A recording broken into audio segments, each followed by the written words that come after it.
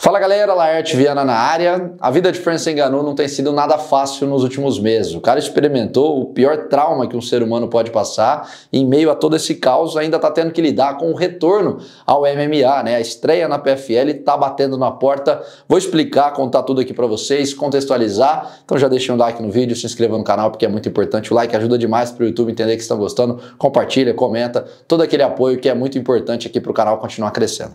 Beleza? Vamos para a resenha. Francis Ngannou não veste uma luva de MMA há mais de dois anos e meio. A última vez foi em janeiro de 2022, quando se despediu do UFC. De lá para cá, passou por momentos de tensão e brigas públicas com o ex-amigo Dana White. Venceu a queda de braço, assinou com a PFL e fez a sonhada estreia no boxe. Embora tenha perdido as duas lutas realizadas, a primeira foi tão boa que foi cogitada até que ele seguisse carreira na nobre arte. Afinal, em termos de grana, não há qualquer comparação. O salário por lá é absurdamente maior. São milhões e milhões que dificilmente um lutador lutador de MMA verá pela frente. A questão é que ele tem uma cláusula no seu contrato com a PFL que o obriga a ir pelo menos estrear, fazer uma única luta na organização. Então, por mais que a carreira no boxe possa acontecer no futuro próximo, por hora ela tá pausada. Tá na hora de voltar às origens. O concorrente todo mundo já sabe, não é segredo para ninguém. Vai pegar o perigoso e nocauteador Renan Problema, atual campeão da organização e que é de fato um dos atuais pesos pesados mais perigosos do planeta, incluindo até mesmo o UFC. Não é exagero dizer que o gigante brasileiro brasileiro brigaria junto à elite da maior organização do mundo. As novidades se dão pela data e local. O Francis Ngannou participou do podcast do Joe Rogan essa semana e revelou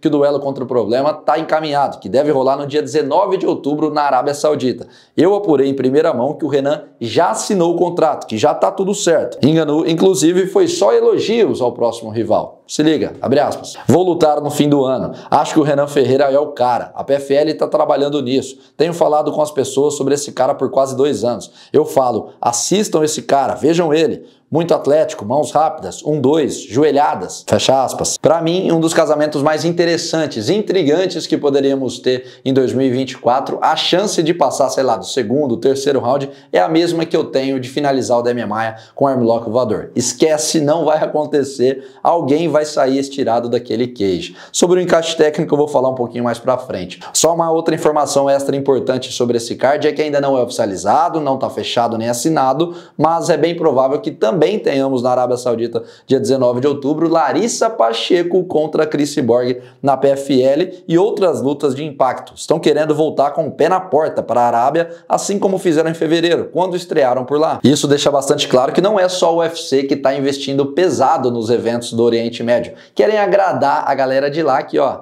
faz o bolso ficar cheio, estufado. Vão ser cada vez mais frequentes eventos no Oriente Médio, se acostumem. Porém, agora vem a parte ruim e preocupante que pode afetar a carreira do Francis Ngannou, pois ele está vivendo a dor do luto. Para quem não sabe, em abril desse ano, Francis Ngannou acabou perdendo o seu filho, de apenas um ano e meio, que infelizmente veio a falecer, uma tragédia que abala qualquer um e o Francis Ngannou está visivelmente infelizmente não recuperado dessa situação, se é que dá para se recuperar de um trauma desse tamanho. O semblante durante toda a entrevista é de tristeza e ele deu uma declaração pro Joe Rogan essa semana que eu confesso que eu me emocionei, né? Meus olhos encheram de lágrimas na hora que eu assisti, bastante forte, impactante. Disse que ele não teme mais a morte, que ele não pensa em tirar a própria vida, mas que se acontecer, que se ele partir dessa para outra, ele não vai se preocupar, porque assim, pelo menos, ele vai poder encontrar o próprio filho. Se liga, abre aspas. Pensei que estivesse sonhando, que eles diriam em algum momento que não era verdade. Segui ligando e todos confirmaram. Ele já tinha partido. Isso doeu, doeu muito. Pelo menos quando eu morrer, eu vou ver meu filho. Verei ele. Não tenho medo da morte. Ainda quero viver, mas você chega a esse ponto de pensar assim.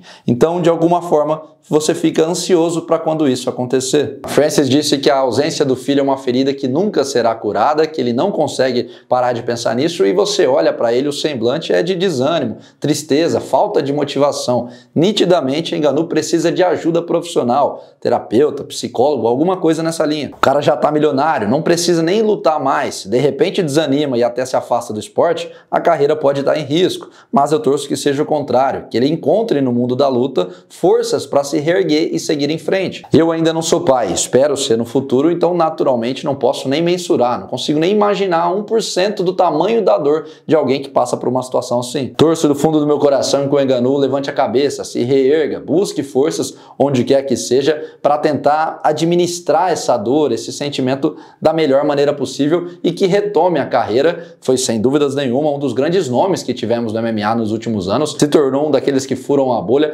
Tê-lo de volta para o MMA é sem dúvidas muito importante para o esporte. Mais do que isso, também pode ser importante, uma muleta ali de alguma maneira para o cara se motivar, buscar outros prazeres na vida. Deixo aqui as minhas orações e positivas ao Francis Ngannou, que ele supere esse problema, que retorne em relação ao encaixe técnico com o Renan. Como eu disse, mais para frente eu trago entrevistas exclusivas, análises e coisas do tipo. Por hora eu quero saber duas coisas de vocês. O que acham do casamento? Quem vocês acham que nesse momento seria o favorito, Renan Problema ou Francis Ngannou? E se esse trauma na vida particular pode de alguma maneira encurtar a carreira do camaronês ou de repente atrapalhar, né? O cara perdeu o foco, não conseguir performar mais, de repente não volta a ser o mesmo que nos acostumamos a ver. O que, que vocês acham de toda essa triste, lamentável situação? Coloquem aqui embaixo nos comentários, não esqueçam de deixar o like no vídeo, se inscrevam no canal para ficarem ligados em tudo. A novidade que eu falei, eu vou poder anunciar em breve. Estou esperando o patrocinador liberar Assim que ele der o sinal verde,